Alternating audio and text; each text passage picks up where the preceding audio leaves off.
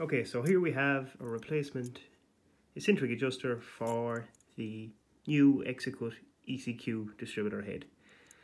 So if you remember correctly on the ECL distributor, these replacement eccentric adjusters came back or came from the factory already wound back. So these springs are already pressurized and you had the two R clips, one here and one here holding the cams in position. Then when you were replacing it and had the machine fully built, you'll pull out the two R clips and that will pressurize your blades up against your cutting screen. Whereas for the ECQ distributor head, there's no pressure. They're not already wound back. So you physically have to wind them back yourself or the end user when they get them.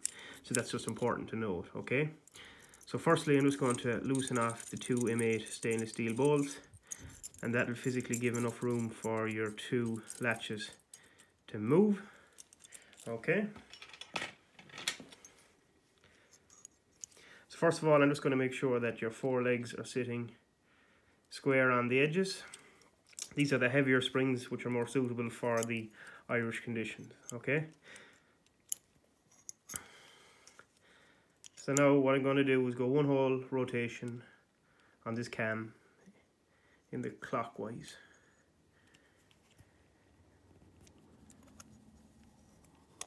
You hear the latch that's fully wound back. Then